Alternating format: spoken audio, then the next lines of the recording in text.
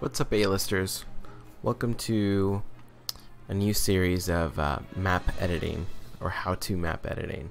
Uh, today we're going to cover SOBJLs and SOBJs and then the prerequisites that you'll need to mod this game. Uh, I recommend you getting Hello World overlay. Uh, as you can see on the bottom it has the player coordinates that you're going to need to for you to spawn you know SOBJ items. Uh, next thing you're going to need is the 010 editor, which is right here.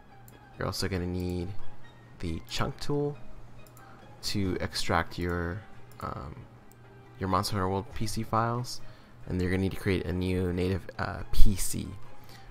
so for this instance, we're going to create,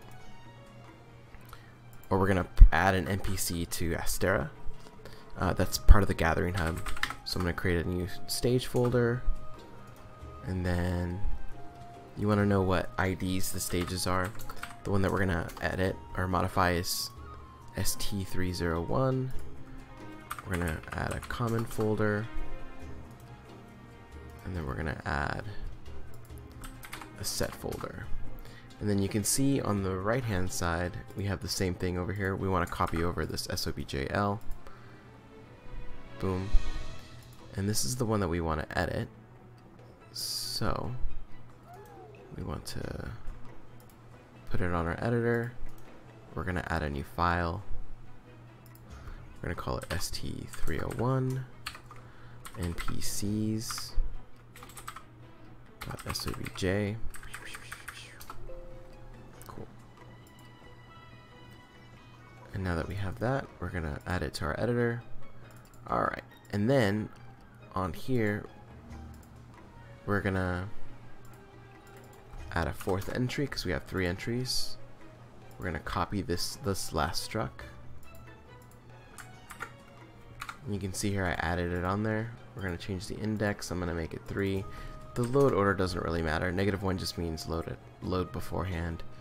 Um, and then we're going to change this. I'm to change it here first, but it probably won't save it.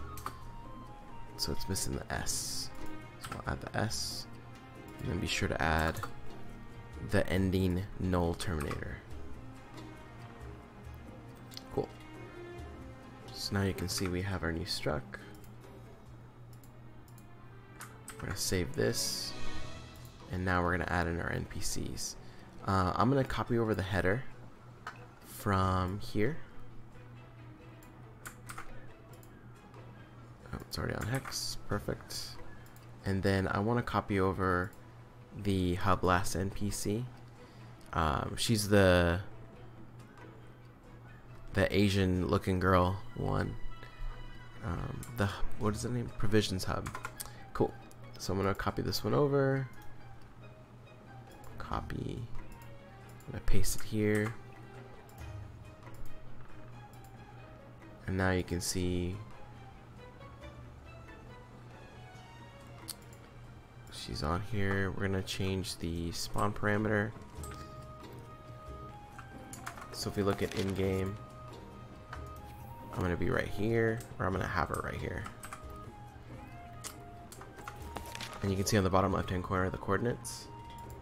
So we want to change these to be 5731,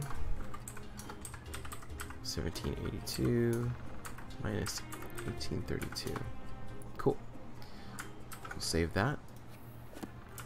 We'll go back into the game. And then we're going to load the Gathering Hub.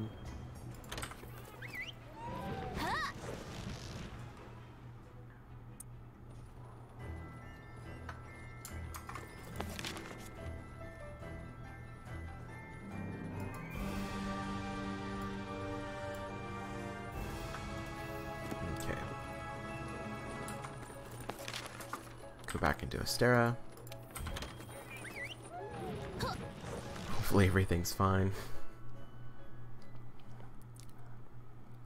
Cool. Alright, she's there.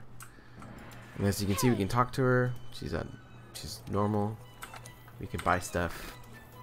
Um, NPCs that are outside of, you know, the research base, Astera, the Gathering Hub, um, especially like the hub provisions, she's she's not going to be able to sell you stuff. It's going to freeze your game um, until we figure out how we can implement those features, uh, like in Ancient Forest and all other all those other stages. I wouldn't recommend doing it. I mean, unless you want to explore, it's up to you. Uh, going back to our editor here, if we look on the bottom, there's more NPC setter data. And we go right here to the close-up bool. Uh, right now it's set to zero and there's no coordinates. So we're gonna go ahead and add these coordinates or add close-up bool. We just want to see what it looks like or what it does. And we're gonna leave and load to the gathering hub real quick.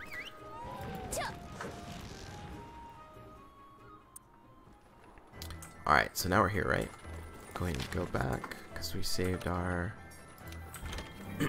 our file.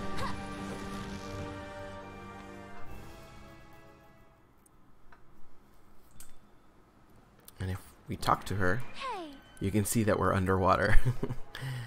uh, and that's because we didn't set any coordinates at all. So what we want to do is we want to go back and go talk to her once we come back and teleport. Yeah. Alright, now we're here. So let's say I want to talk, when I talk to her, I want to be right here. So what I want to do is I want to grab my player coordinates on the bottom left hand side. I want to go to the close-up bool here and I want to change these coordinates here. So 5860, 1782, 1960. Okay, cool. So we'll save that. We'll load back our game.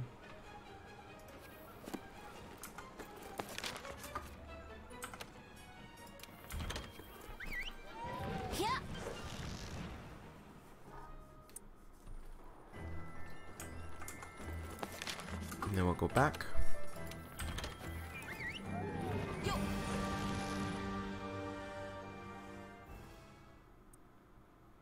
Cool. And so now when I talk to her, I should be behind her, right? Because that's where I set, or that's where I saved the coordinates. Hey. Yep. Well, it's not exactly how I wanted it. But I am behind her.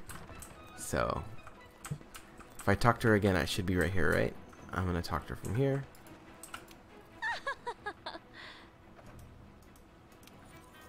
Yep. Let me talk to her right here. Yep. Same.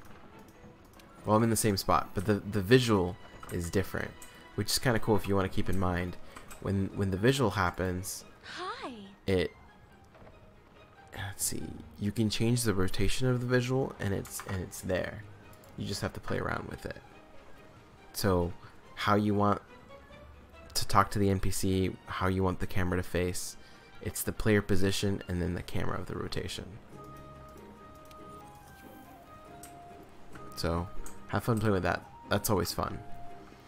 Um, so just a little recap. When you are going to make an SOBJ mod or a map editing mod for gimmicks, because they're set files, not just for gimmicks, sorry, just for any SOBJ, you want to create a new SOBJ file. And you want to bring over the dependency or the, the list that's actually calling the file. That way, if there are other people who create, you know, SOBJ mods, um, the person who downloads a mod can either, you know, add it to the SOBJL or the mod author can include your mod or you can include their mod with the SOBJL. Uh, just don't bring in their files. Just just update the SOBJL file if you want to make people's lives easier. But um, anyway, that concludes for this uh, this video. Um, you know, stay tuned for the next one. If you have any questions, comments, you can leave them down on the comments below, or you can join the Monster Hunter World uh, modding Discord, and I'll leave a link to that below. Catch you next time.